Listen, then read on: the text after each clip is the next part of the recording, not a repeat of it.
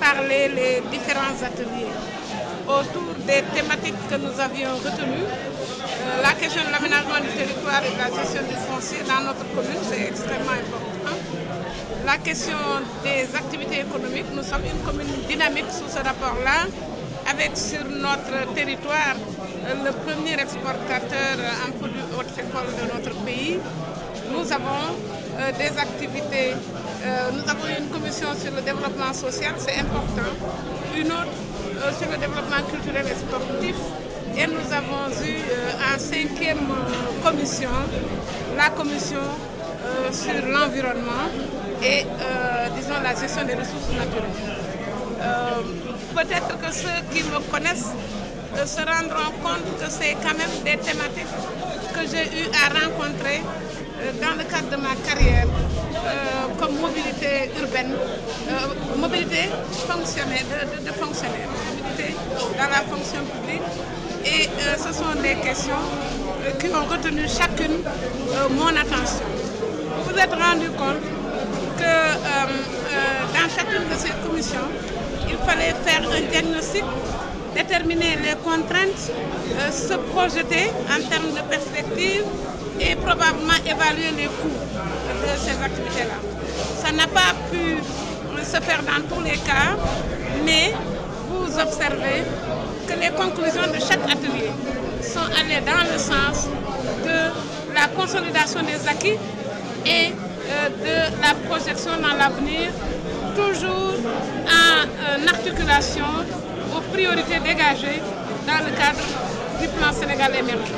Et euh, comme je vous le disais hier, cela a été confirmé euh, par les travaux de commission. Nous voulons euh, être un maillon de l'émergence qu'a imaginé son Excellence Monsieur le Président de la République, Macky Sall, et, et qui mobilise l'ensemble de son gouvernement sous la coordination de Monsieur le Premier ministre Et j'ai été heureuse de constater que quasiment tous les ministères ont envoyé ici leurs services techniques et que ces services techniques sont restés dans les commissions et ont travaillé. Tout à l'heure, nous allons aller en séance de clôture où vous entendrez les recommandations. Parce qu'une chose est de vouloir, vous m'avez entendu le dire tout à l'heure, et une autre chose est de pouvoir. Et le réalisme doit traverser nos propositions.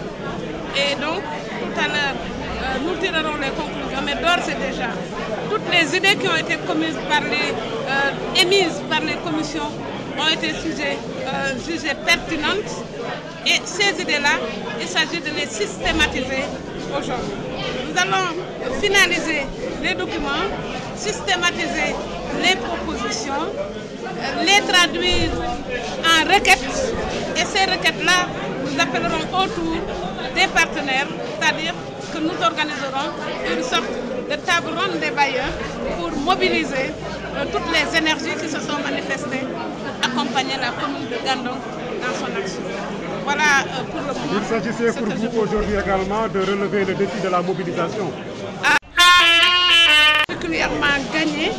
Nous avions tablé euh, sur la participation de 300 personnes en disant euh, que nous ne pouvions pas appeler tous les villageois. Mais dans les villages, il y a des catégories qui sont représentatives. Des jeunes, euh, des chefs de village, des femmes à travers leurs associations et nous avons eu le plaisir de constater la mobilisation J'avais même craint à un moment donné que la journée d'hier ayant été longue, qu'aujourd'hui euh, les gens euh, se lassent euh, ou hésitent à venir. Mais vous l'avez constaté, on a la même affluence, sinon une plus grande affluence qui est, et je voudrais en remercier non pas seulement les populations elles-mêmes, mais les conseillers, l'équipe du comité de pilotage qui a su mobiliser autour des objectifs de la COP.